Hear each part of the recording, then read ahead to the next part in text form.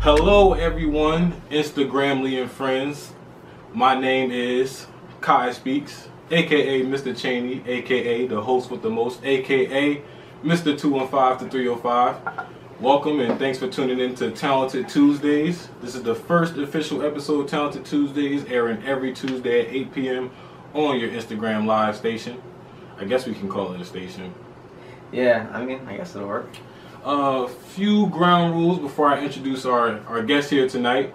I just want to mention right there below is the comment section. Feel free to comment and ask questions that I may not get to. Um, if you feel as though I didn't ask Gerson something that you really wanted to know about him, ask that question below and I'll try and get to it to ask, uh, ask away. Also, following with that uh, comment, the comment section is also to be left for positive and encouraging comments and questions. Leave the negativity behind us. This is a, a, safe space, so everyone should feel comfortable with sharing their opinions and voicing their uh, their thoughts. So, with further without further ado, y'all, this is a little difficult. This is not like recording a promotion video or anything. I can edit out the cutscenes. this is live, so you might hear a couple mess ups and you might see some things on the blooper reel later after we cut some things out and make some edits for the YouTube channel. But without further ado, I would like to introduce my good friend, brother of mine, a brother from another mother, Gerson Sanchez. So, real quick, Gerson, can you um just tell us a little bit about yourself, your story, Yeah, how yeah, you got yeah. to where you are right now? Uh, well, thank you so much for having me. I'm excited, My man. pleasure, the man. first episode of Talented Tuesday. This is pretty dope, man. It's exciting. Uh, so my name is Gerson Sanchez. Uh, I am a second year doctoral student at Florida International University, working on my PhD in higher education, and my focus is around race, racism, and education, how that manifests and is perpetuated in education. And um, like you said, uh, great frat brother, just a great brother in general. And we met. Um, we kind of met through the frat, I guess. Yeah, you can say that. Um, and then kind of find out he, he did poetry and and I play a little bit of guitar, so we just kind of started vibing on that. So, Strong duo. hmm So, um, where do you see yourself um, musically? Like, what what brought you to where you are now, being the first guest of Talented Tuesdays? oh man, uh, so I started playing uh, piano when I was five, and I grew up playing in church. Uh, I grew up playing in Spanish churches and black churches, so I just learned a lot of gospel music, jazz, Spanish music, all that stuff. And then I moved to Miami uh, about almost six years ago. Mhm. and I didn't know anyone when I moved here. Uh, so I was trying to find something to do, how to get to know people. So I bought a guitar, and like I said, I play piano. Um, and if anyone anyone out there plays piano, they know that piano is a great first foundational instrument to learn. Um, so it beco- other instruments become become a little easier to kind of learn. Um, so I ended up getting a guitar, and I had no friends, had nothing to do uh, all I did was work. I would come back home and, and just kind of chill out. So I literally spent hours and hours and hours a day just trying to learn how to play guitar. And somehow I learned and it worked out for me. Uh, so I used to gig a lot when I moved to Miami. So I started trying to gig with guitar. And that's kind of how I made my living. Um, I just got a lot of gigs on South Beach. And yeah, just playing. Wow. So like, Yeah. I'm just learning this for the first time. So you said like piano was like the first instrument that you learned. Yeah, yeah. I've only known you to be really good at playing the guitar. So Yeah, yeah. So piano's like my first instrument. I feel more Okay. comfortable on it. I've been playing since I was five, and I'm 29 now. wow, that's a long time. yeah, yeah, yeah, yeah. So did you did you share? Did you already share where you're from and um? Yeah, just Yeah, uh, so I'm from North Carolina. My family is from Central America, a country called Nicaragua. Um, yeah, very poor country. Uh, it was one of the poorest countries in the Western Hemisphere until the Haitian earthquake a couple of years ago. Um, so just a very poor, poor country. And my parents live in North Carolina, and I live I live in Miami now, almost six years. So I did my master's here, and now I'm working on my PhD. Okay, what would you say like the culture, um, the culture was like living in Greensboro as compared to living in Miami now? Man, two different places, two different worlds. Uh, probably one of the, the biggest things that I've noticed is that Greensboro is very racially dichotomous. It's very kind of like most of the United States, where It's white, black, and then everything else just kind of falls on the periphery. And Miami, if anything, will challenge, at least it challenged me, uh, challenged everything I knew about race and ethnicity. I, I grew up th- learning that um, if you looked racially white, then you were a white person. If you looked racially black, you were a black person. But here, um, you add ethnicity to that mix a lot. So literally anyone can look like anything and they can be anyone. Like they could end up speaking French, only French. They can speak Spanish, only Spanish. Uh, so that thing, that I think that was one of the biggest things that I noticed uh, for me and just kind of how I live my everyday life. Uh, just everything I knew about race and ethnicity was just kind of challenged.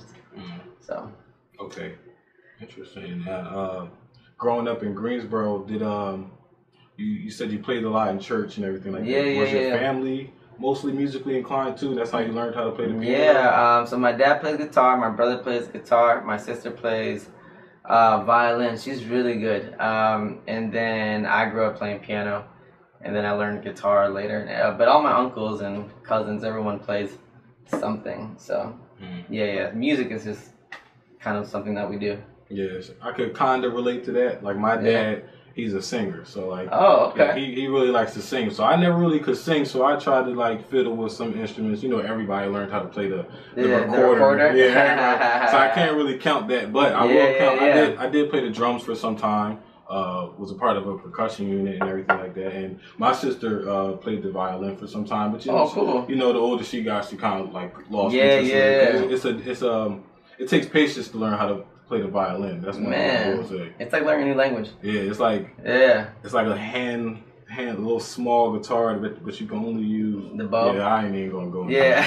but yeah, it's a difficult instrument. So Absolutely. uh, one thing I will point out is just playing any instrument takes a, a lot of a lot of patience and a lot of Absolutely. will to actually want to learn how to play it well. It takes dedication, just like anything else. Sacrifice, consistency. Um, even now, I still practice. I think last week I practiced maybe ten hours, like just, Just like on your own time, just practice ten yeah, hours. just like ten hours just throughout the week. And, and it, for me, and I think a lot of musicians can say the same. It, we don't see it as work. It's just it's just something that we just enjoy doing. We just kind of do it. And you kind of get lost in the music, um, which is pretty cool. Okay. So, uh, do you have any like short-term goals? Like, you know, you was playing gigs when you first Yeah. got to Miami. Do you see yourself trying to obtain more gigs the further Mm. along you go with playing the guitar, or you just see yourself just enjoying it as a hobby? I, I think um, probably more as a hobby.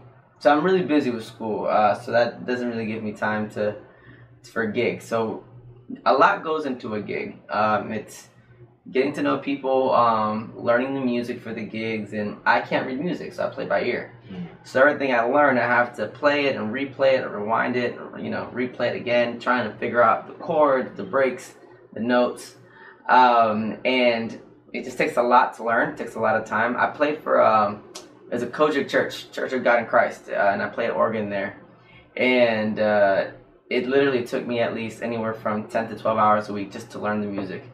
That's not including rehearsals that I had to go to, and I had to play two services throughout the week. And when the choir traveled, I had to go with them. Uh, so that's just a lot. It's like a part-time job. Mhm. So now I actually play for a church um, in South Miami, and I just show up Sunday mornings. We rehearse for 30 minutes. Church class about an hour and a half, and I get to go home. Um, so yeah, so that's kind of like the only gig I have now. They do pay, so that's nice. And yeah, so I don't really see this going too much further, but it's just kind of nice to be able to play. Okay, and like, what's your favorite? Do you have a favorite tune that you like to play? Like a favorite style? Uh, well, probably Spanish music on guitar, like just um, like Spanish music, uh, R and B, like acoustic R and B type stuff. On keyboard, on piano, uh, just kind of everything: R and B, neo soul, uh, gospel music, a lot of gospel music, uh, of course, Spanish music. So yeah, just stuff like that. Okay, so like, do you have a? Did you look up to a certain musician that you might have learned a lot of your? Uh, Oh man. You know what's interesting? I actually looked up a lot to, to gospel music when I was a kid because that was something that was foreign to me. It wasn't something I just grew up listening. I'll never forget, um, my mom bought me a tape. I don't know if y'all know what a tape is, but a tape, kind of like before CDs. Uh, you oh know, yeah, like a little cassette. yeah, cassette tape. Yeah, yeah, yeah, yeah. Uh, and she got me a cassette tape because she knew I wanted to listen to gospel music. So this was before Spotify, before iTunes, before all this stuff, right? Um, and it was uh, it was like shouting. There was shouting music on on the cassette tape, and I didn't know what shouting music was. I was like, "What is this? Like, what is happening? Like, why is that Shouting music, so music? bad?" Yeah, um, I don't know how to explain shouting music. It's it's very uh, very much part of the black church. Um, uh, I guess when people feel the spirit or get excited, uh, there are or- chords that the organist or the keyboards will play, um, and uh, yeah, and it's called shouting music. And uh, so I didn't know what this was as a kid, you know, and I grew up speaking Spanish, so I had to learn English as a second language. So there was just a lot of confusion going on in my head. And um, I, I learned how to play uh, this gospel music, shouting music. And I think that was something that I really looked up to uh, just because it was so different from what I was used to. And it was very challenging just to kind of learn how to play. So I think that's, I looked up to genres, I think, more than actual musicians. That's interesting. Um, okay, so if you could, if you could rewind back 10, year, 10 years of your life and know everything that you know now, would you rather rewind that 10 years or would you rather fast forward 10 years with an additional $5 million in your bank account? What would you rather do? Oh, okay, this is a tough one. You said if I could rewind If 10 you- years. Yeah, if you could go back 10 years Okay, but still know everything that you know now, okay. or would you rather fast forward 10 years and have $5 million? That's worth $5 million, huh? Uh, okay. I'd probably go back You'll probably go back. 10 years. Yeah, because I'd probably end up making those $5 million. You'll With, probably with- with everything I know now. Yeah, smart. Yeah, I was say with everything that you know Yeah. now, you definitely you like a Yeah, genius. yeah, yeah, yeah, yeah. I would, I would, that would be pretty cool. But hey, you know, we have the present, and that's what we got to work with. Yeah. Present and the future. So, right, right, right. Um, that was just like a little, yeah, little yeah, yeah. icebreaker. Man, that was probably something I should have did at the threw beginning. me off a little bit. Yeah, yeah, yeah, yeah. Okay, okay. All right, but here okay. go another icebreaker. So, Yeah, yeah, yeah. if you if you won the lottery, Mm-hmm. What do you see yourself doing with your uh, your winnings? Oh, is interesting. Um, it's crazy. Someone asked me the other day what I do, what would I do with a million dollars, and I told them I would never want to have a million dollars. And I and they they just didn't understand that, and I told them that if I if I ever reach a million dollars, it's because I haven't done enough for my community. Um, so there's always an outpour that I could have been kind of giving out. Um, so if I were to win the lottery, even though I'm kind of against the, the idea of the lottery, because it's Mhm. usually poor people who are buying these tickets, and it's it's kind of It's like a unethical to me. perpetual pyramid. Yeah. Yeah. Um, so that if I were to do that, I'd, I'd definitely build, I don't know, I try to find ways to multiply it for my community, build Mhm. community centers for children, uh, single mothers. Uh, one of my dreams is actually to open up um, a car shop for uh, young kids and single mothers to come get free work um, done on their cars and vehicles. So I'd probably open up something like that. That's a that Yeah. you might be the first person ever to to. I don't know many places Yeah. that offer free cars. yeah, it would be free. It would be like that. free. Yeah, too many people out here taking advantage of folks, so I don't, I don't really get down with that. Okay, so would you? Um, I, after all, this is Talented Tuesdays. Yeah, and, yeah, yeah, yeah. Uh, our talents inspire our youth. So, oh, okay. so yeah. what words do you have for the youth, or what message would you like to share for the youth to, you know, keep them going? Because a lot of times we have people who we have we have something that we're really passionate about. We have people Sure. who tell us, you know, that's not practical. Try a different route. Uh, what's the message that you might give to some of those uh, young kids that may have struggles um, trying to figure out what exactly they want to do? Oh man, that's a that's a loaded question. Um, that's a that's a really tough question I think to answer. Um, uh, just because it, it, it presupposes a lot of things that our children have access to, to a lot of these things. But if they do have access, um, I would really encourage them just to give something a, a shot, give something an opportunity. Um, I I didn't think playing music was cool when I was a kid. Like that wasn't cool to me. I wanted to play sports, but I was short, so I couldn't play ball. You know, I couldn't play football. I was like 80 pounds in the eighth grade. You know, um, so music was a way for me to kind of express myself. It was also a way to keep me out of trouble. So if if our children have access to these things, I would highly encourage them just to find find something that you're passionate about. I think church, um, and we can talk about the complexities around church, but I think especially um, in minority communities, it has always been a type of community center for our children and our people. And I think that that is a great way, great place to kind of start learning how to play music, to work on um, kind of like public speaking, to do a lot of things, to learn about community service. So I think uh, I would encourage young people just to kind of get involved, uh, just any way they can. Uh, find a musician, an artist, a poet, or someone that you like. Go talk to them, ask them what you know, how did they start doing what they're doing. Um, and I, but I also think it, w- works both ways. I also think that we should also be doing the same thing um, with our children. And so, yeah, that's kind of my opinion on that. I think Yeah.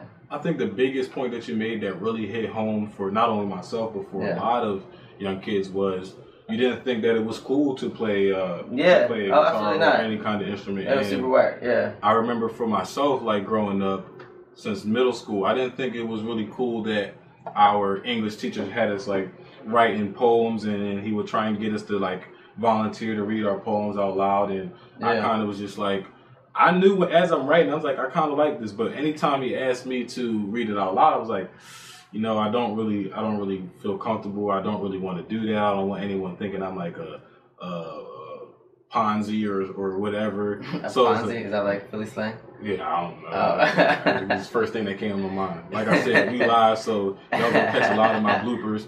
But so yeah, so I didn't really think it was cool to really share my poetry. So Yeah. then as I got older, I, I kind of started to warm up to it. Even in high school, I didn't, I didn't, I was still kind of shy and timid about Yeah. uh, my writing and everything like that. And I mostly was writing about my experiences uh, being at a, a predominantly white high school and then just being like one of six black kids in the classroom. And I was mostly writing about that experience. Yeah. So I definitely wasn't sharing it because I didn't feel as though it was my place to even Mm. share Yeah, uh, yeah. what was going on. So um, as I got to college, I saw that Cheney University had an organization called CUPS, which Mhm. was Cheney University Poetry uh, and Song.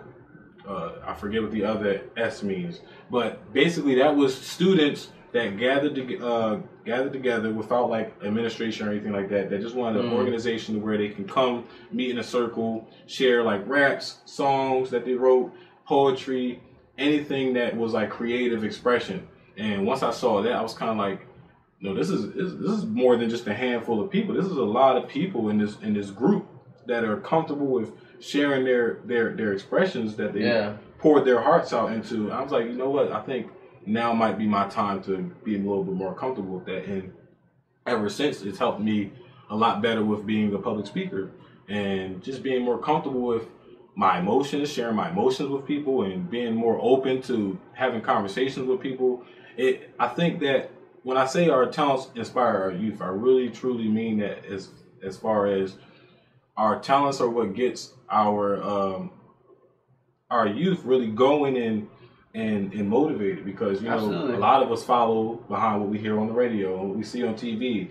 These are all talents, whether or not we we use it for a negative impact or a positive impact. Absolutely. Playing basketball is a talent, football is a Absolutely. talent, rapping is a talent. So it's like our our youth really look up to these talents, and this is who they want to emulate, and this is what they want to model after. Yeah. So if we could learn how to reverse those talents and put it more towards a positive impact where we can create more creators, Mhm. then I feel as though we'll be on the right track. And I, I mean, I, I definitely agree with everything you're saying. And I would also add that maybe um, rethinking the way we, we conceptualize the idea of a talent, right?